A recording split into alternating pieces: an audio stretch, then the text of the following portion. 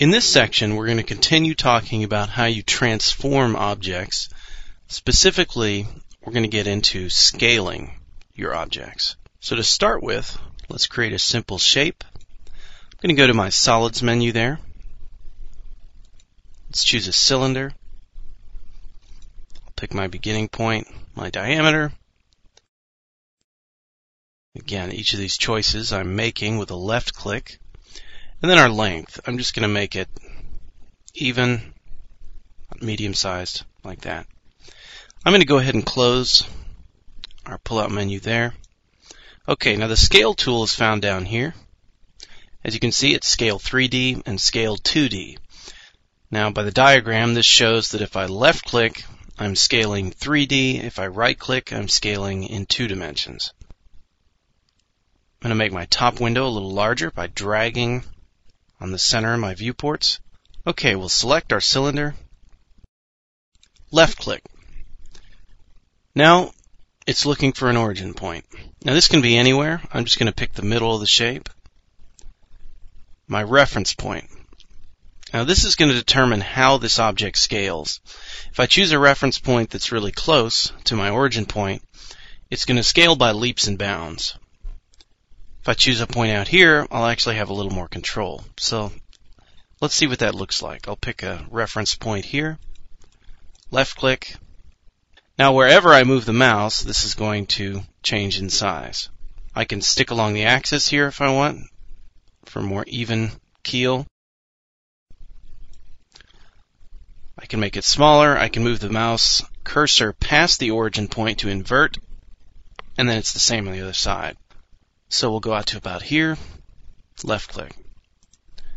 Now by right clicking, I've repeated my scale command, and so it wants the origin point again. So let's do the same, but this time I'm going to left click right next to my origin point. So my first reference point is very close. As you can see, I'll hold control and right click here to zoom out.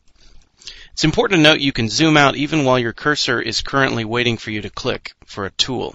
Holding a control button and a right click, right mouse button, will always zoom in and out, regardless of what your cursor is busy doing. So as you can see here, with my reference point so close to the origin point, this thing is growing impossibly quickly, which may make it difficult to work with.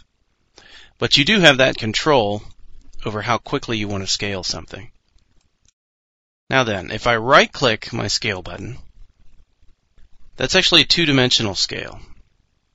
And what does that mean? Well, if I start from my top viewport here, origin point, reference point, in the top viewport, this looks just like it did a moment ago when I used the 3D scale. But as you can see from my perspective window, if you watch the wireframe, this is actually a two-dimensional scale, meaning the third dimension, the height in the perspective window of my shape, remains unchanged. If I were to go into my right viewport here and do the same, I make the diameter smaller because according to the right viewport, these are the only two angles that I can see, the height and width of the end of my cylinder, and so therefore that's what's going to be changed. There's also several other scaling options, including a one-dimensional scale here. And in my transform menu, we can also access the scaling commands, including non-uniform scale. Now, non-uniform scale is a little bit different.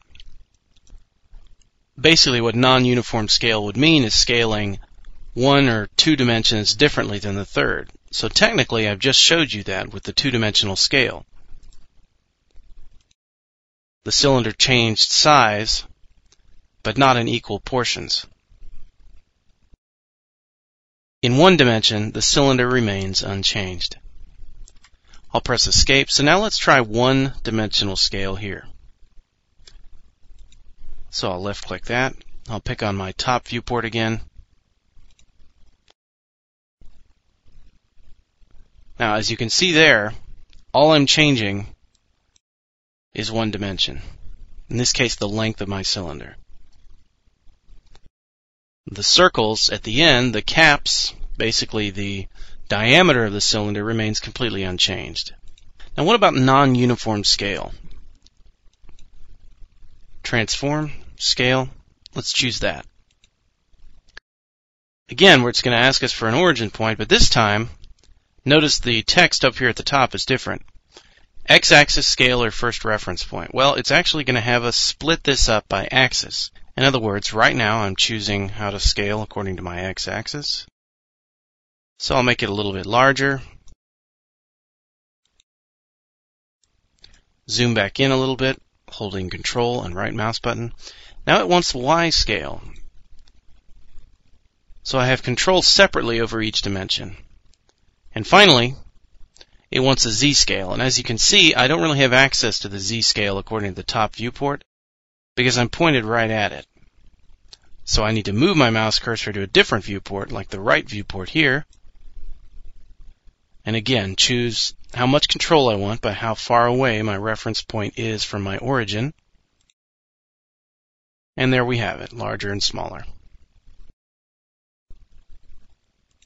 So with a non-uniform scale, I'll use my shaded preview here, you can control the width, height, and depth of your shapes separately.